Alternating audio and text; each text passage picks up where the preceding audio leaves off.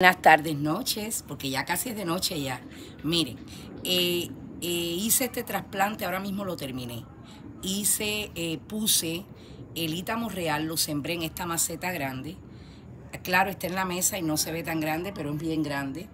el ítamo real en el medio y a los lados puse, señores, bugambilias color mamey.